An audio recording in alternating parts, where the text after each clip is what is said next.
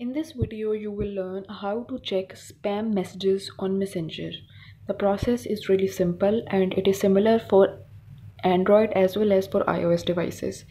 First, make sure that you are connected with internet and once you are connected with internet, tap on Messenger application. So I am currently doing it on Android.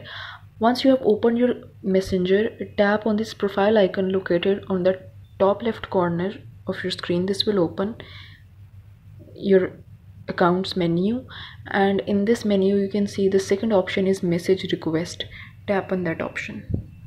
So now you can see that there are further two options you may know and spam. Tap on spam option and you can see all of your spam messages in messenger. Currently there are no spam messages in my messenger.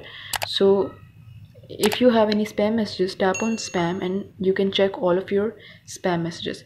So this was the process by which you can check spam messages on messenger. If you find this video helpful then please like share and subscribe before leaving. Thanks